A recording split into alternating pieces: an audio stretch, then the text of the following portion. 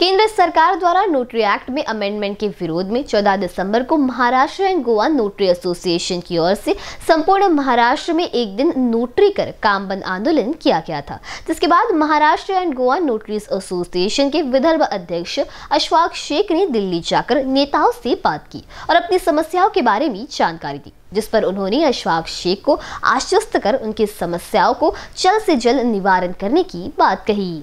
14 दिसंबर को Maharashtra and Goa notary association की ओर से संपूर्ण महाराष्ट्र में एक दिन नोटरी का काम बंद आंदोलन किया गया था, जिसके तहत जिला न्यायालय नागपुर के सामने भी इस विरोध में आंदोलन किया गया था।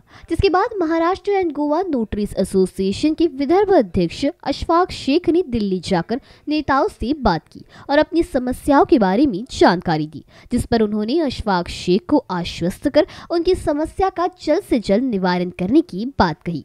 बता दी कि सरकार ने नोटरी अधिनियम को संशोधित करने का प्रस्ताव रखा था जिसके तहत किसी व्यक्ति को एक निश्चित अवधि तक ही इस कार्य में रहने दिया जाएगा। आदाब नमस्कार। मैं advocate Ashfaq Sheikh Maharashtra and Goa notary association का विदर्भ का प्रेसिडेंट और वैसे ही entire Maharashtra and Goa sports person हूँ। जैसे कि आप लोगों को पता होगा इसके पहले आपका चैनल ही हमारे पास में आया था, चौदह दिसंबर को हम लोगों ने बुलाए थे। आप लोगों को पता है कि केंद्र सरकार ने हाल ही में पिछले दिनों एक सर्कुलर लाया था। उसमें उन्होंने एक नोटरी नोटरी एक्ट में एक अमेंडमेंट किया था ड्राफ्ट आया था। उस ड्राफ्ट के अगेंस्ट में नोटरी लोगों से, पूरे महाराष्ट्र से, बल्कि पूरे इंडिया से उन्होंने एक सुझाव मांगा था और ऑब्जेक्शन मांगा था, पंद्रह तारीख दिसंबर के पहले। तब चौदह तारीख को, चौदह दिसंबर को हम लोगों ने पूरा महाराष्ट्र बंद रखा था और पूरा भारत भी बंद था। उसका विषय ये था कि जो नोटरी, एक बार नोटरी बन गया है, वो पहले पाँच साल और उसके बाद में पाँच पाँच साल के दो टर्म और दस साल ऐसे ऐसे टोटल पंद्रह साल के लिए नोटरी रहेंगे। पंद्रह साल के बाद में उनको नोटरी पद से खारिज कर दिया जाएगा। आज ये सभी हमारे जो नोटरी भाई यहाँ पर एकत्रित हुए, डिस्ट्रिक्ट बार एसोसिएशन के सभी वकील यहाँ जो एकत्रित हुए हैं वो आज एक खुशी के क्षण के लिए एकत्रित हुए हैं। चौदह तारीख को जब हम यहाँ एकत्रित हुए थे, तब हमारे 300 नोटरी भाइयों के काम के ऊपर आई हुई एक काली साया आया हुआ था, जिसको हटाने के लिए हम लोगों ने उस दिन, सभी नोटरी भाइयों ने, हमारे वकील भाइयों ने उस दिन काम का बहिष्कार किया था, काम का बहिष्कार किया था। आज उसका फल मिला है।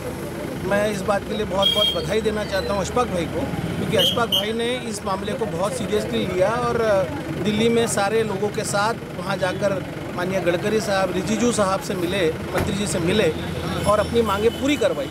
और उस दिन जो चौदह तारीख को जो आंदोलन हुआ था, वो सफल हुआ था, ये उसका प्रमाण है। और इस वक्त हम सब भारत सरकार के मंत्री श्री किरण रिजिजू, जिन्होंने अशफाक भाई और उनकी पूरी टीम की बात सुनी और उनकी मांगों को सहानुभूति, सहानुभूतिपूर्वक लिया। उसके लिए आज हम सब बहुत खुश हैं। और आज हम 300 नोटरी भाइयों का भविष्य में आई हुई जो परेशानी थी, उससे बच जाने की खुशी मना रहे हैं। और आप सबने हमको बहुत मदद की, इसके लिए बहुत बहुत धन्यवाद।